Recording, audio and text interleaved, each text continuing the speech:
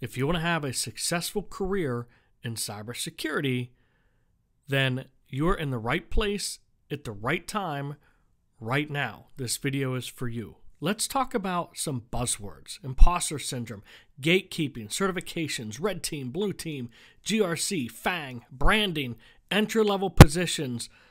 They all have one thing in common. These are things that people are faced with every single day. Imposter syndrome. What is it? Why do I have it? How do I deal with it? Will it ever go away? Gatekeeping. Why are people telling me that I can't do it?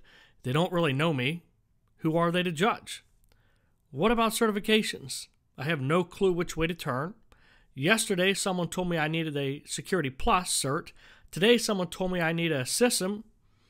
All of the information conflicts. So, who do I trust? These are the questions we get all of the time. I hear red team is the way to go, or was it blue team? I don't remember. What if I choose the wrong path? Someone even mentioned this GRC thing governance, risk, and I think compliance. Should I do that first? Which should I try first? Then they say I should be working for the FAANG companies Facebook, Apple, Amazon, Netflix, Google.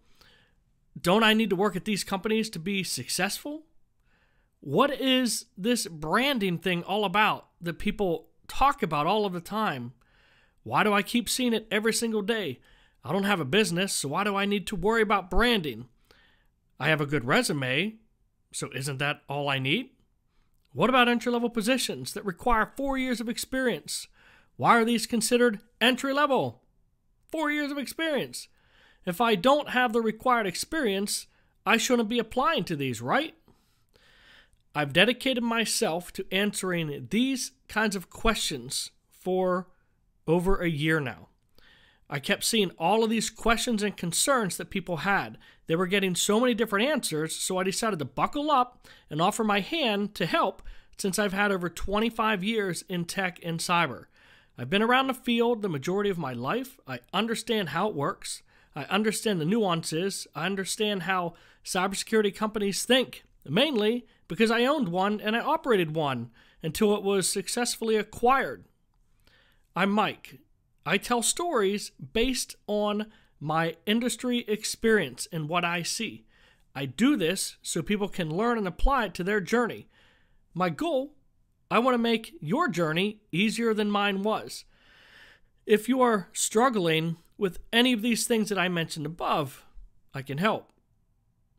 If you're already in cyber but feel like you aren't valued and that you are ready to give up or you want to level up in your career, I can help.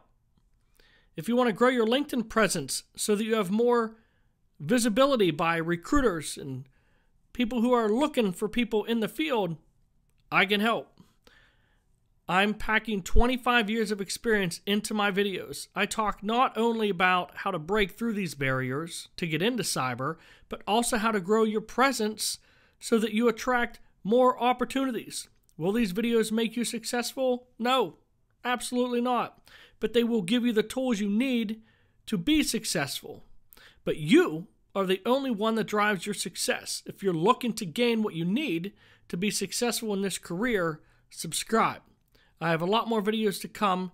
Take this journey with me. Let my 25 years of experience make your journey so much easier than mine. Have a great day.